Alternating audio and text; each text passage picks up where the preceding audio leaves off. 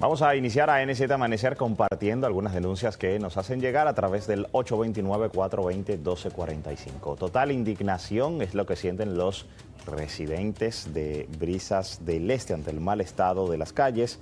Es lo que expresa precisamente uno de nuestros televidentes debido a que asegura que en esta comunidad, más específicamente en la calle José Francisco Peña Gómez, viven una odisea cada vez que llueve por la falta de asfaltado en esta eh, zona, por lo que realiza un llamado a las autoridades para que traten en eh, sus posibilidades de mejorar las condiciones de esta comunidad en Brisas del Este, más específicamente calle José Francisco Peña Gómez.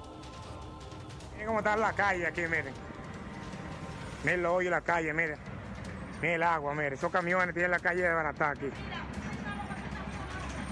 Mira, tienen de barata esos camiones. Miren.